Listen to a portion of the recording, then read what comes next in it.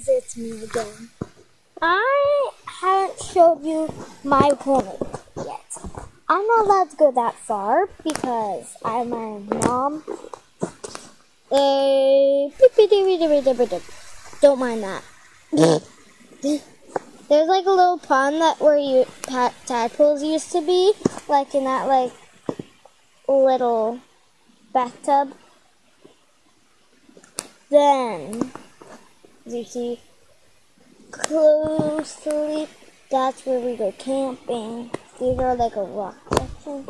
More rock collections where we plant our flowers and stuff. It's pretty cold outside because um, I never went outside to show you stuff. And this is part two of showing my house. Well, not really my house, kind of my neighborhood. But if you guys want to description me, well, I got tons. If you guys want to description me or do anything, you guys can. But as you see, we are in the new homes area. We did not just get this home. We had it like 100 days far. Even though it's like new days home. And as you see, it's morning. So when I was doing like the things where it's like really dark, that was when it was night.